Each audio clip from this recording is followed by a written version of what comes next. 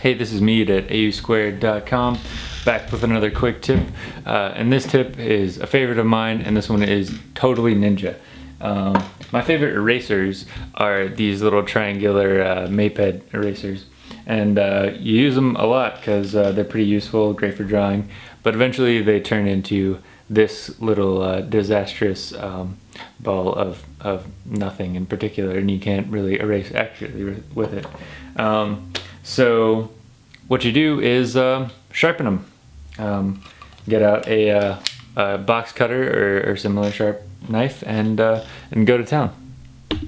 All right. You got to be fairly careful when you do this, so make sure that your uh, that your knife is particularly sharp. But uh, but it's uh, really quite simple. All you got to do is is go around the edge of the eraser and shave off a little bit at a time. And eventually you have a circular rather than triangular uh, eraser, but uh, you can use it again.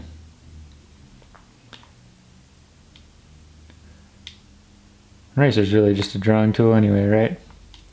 So it's just like a pencil in, in uh, a lot of ways. So then you've gone from the uh, not particularly uh, accurate way of erasing right here